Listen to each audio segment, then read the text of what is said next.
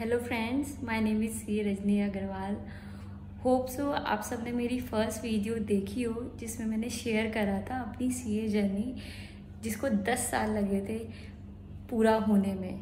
तो मुझे उस वीडियो का बहुत अच्छा रिस्पांस मिला। बहुत सारे लोग मोटिवेट हुए इंस्पायर हुए और मेरा वीडियो बनाने का मोटिव यही था कि शायद कुछ लोग उस वीडियो को देख के यू नो मोटिवेटेड फील करें कि अगर मैं कर सकती हूँ तो आप लोग भी कर सकते हो। तो यू you नो know, उस वीडियो के अंदर बहुत सारे कमेंट्स आए हुए थे।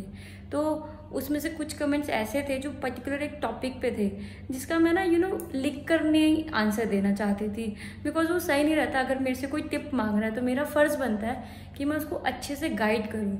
तो यू नो उसमें एक सबसे इंपॉर्टेंट जो क्वेश्चन था, वो ये था कि मैम जब आप बार बार फेल हुए तो आपने क्या चेंजेस करे अपनी पढ़ाई में, आपकी स्ट्रेटजी में कि आप क्लियर हो गए? तो मैं वही आप लोगों के साथ अपना एक्सपीरियंस शेयर करना चाह रही हूँ। यू नो जब मैंने पाँच अटैम्प्ट दिए C A final group one में तो मैंने रियलाइज़ करने का सोचा कि यार मैं क्यों बार बार फेल हो रही हूँ? मतलब मैं इतनी भी डम तो नहीं हूँ कि मैं पेपर पास नहीं कर सकती। तब तो मुझे, मैंने सोचा कि मुझे एक बार अपने आप को एनालाइज करना बहुत ज़रूरी है। तो मैंने दो चीज़ें जो करी जिससे मुझे ऐसा लगता है कि मैं पास हुई और शायद मैं वो दो चीज़ें नहीं करती। तो मैं पास नहीं होती मैं आप लोगों के साथ वो शेयर करना चाहती हूँ। होप्स हो, आप लोगों को उससे कुछ बेनिफिट हो। शायद आप लोग भी वो अपनाओ तो आप लोगों का क्लियर हो जाए। उसमें से फ़र्स्ट चीज़ ये थी कि मैंने अपने सारे नोट्स चेंज कर दिए। मतलब मैं जिन नोट्स से पढ़ती थी तो मेरे को यही लगा सबसे पहला, कहीं ऐसा तो नहीं है कि मेरे नोट्स बहुत ज़्यादा आउटडेटेड हो गए हैं। और चीज़ें काफ़ी चेंज हो चुकी है। मैं उन्हीं को पढ़ के जा रही हूँ और पास नहीं हो पा रही।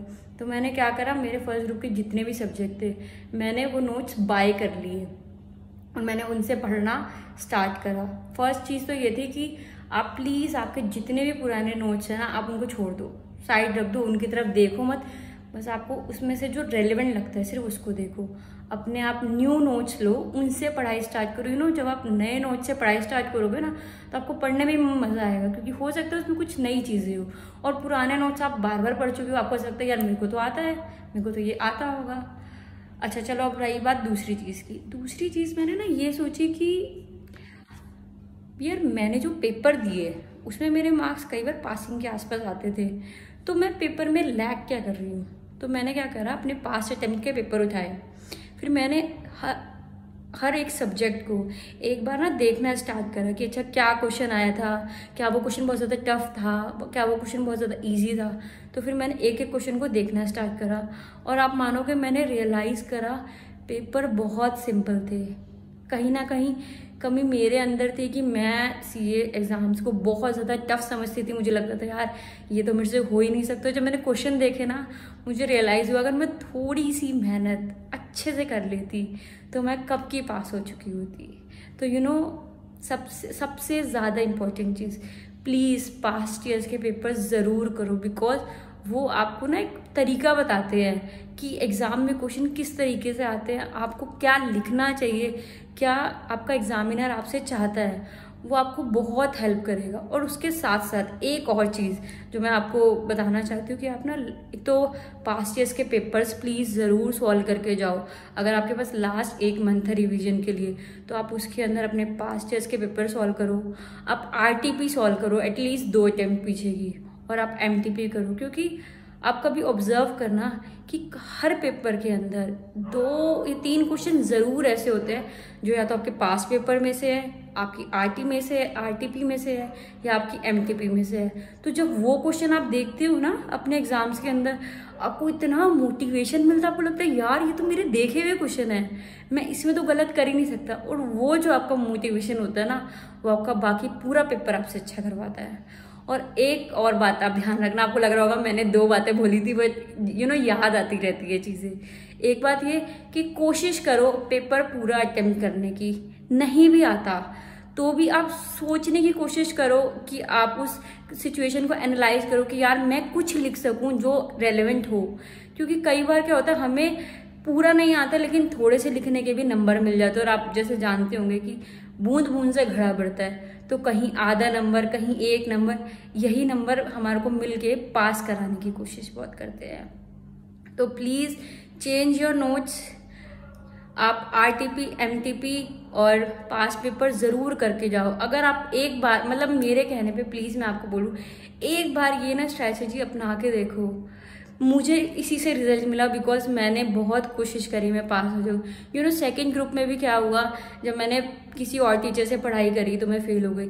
फिर मैंने यही सेम अपनी स्ट्रैटेजी अपनाई कि यार मेरे को लग रहा है फिर कुछ ऐसी गड़बड़ हो रही है। फिर मैंने अपनी आई की क्लास दोबारा ली, मैंने डीटी की क्लास दोबारा ली, मैंने कॉस्टिंग की क्लास दोबारा ली और मैंने उन नए नोट से पढ़ाई करी और सेम मैंने क्या करा आरटीपी करी एमटीपी करी और पास्ट ईयर्स के पेपर करे और मेरे पास रिज़ल्ट क्या आया? पास हो गई मैं। मेरे नंबर बहुत ज़्यादा अच्छे नहीं आए। अगर आप ये सोच रहे होंगे ना कि इन सबसे मेरे नंबर करीबन ढाई सौ तीन सौ आ गए हो। मेरे नंबर सिर्फ़ वही दो सौ दो दो सौ चार इसके इसके आसपास ही आए। बट यू नो सीए के अंदर नंबर मैटर बिल्कुल नहीं करते हैं। पास होना अपने आप में मैटर करता है। You know C A is a degree जो आपको यू you नो know, इतनी अच्छी चीज़ फील कराती है जब आप क्लियर करते हो कि यार मैं आज कुछ बन गया। मैंने अपने नेम के आगे कुछ दो लेटर लगाए और वो बहुत अच्छा फील करवाती है आपको। तो बाकी आपको और भी किसी चीज़ में लगे कि आपको डाउट्स है या आप मेरे से कुछ यू you नो know, पूछना चाहते हो कुछ मेरा एक्सपीरियंस लेना चाहते हो तो मैं आप लोगों के लिए ऑलवेज अवेलेबल हूँ। आप मुझे मैसेजेस करिए एंड प्लीज़ ऐसे ही मेरी वीडियोज़ को लाइक्स कीजिए। Thank you very much thanks a lot and all the very best for exam please हार मत मानना। जिस दिन आपने होप छोड़ दी ना कि यार नहीं हो रहा मेरे से, उस दिन नहीं होगा।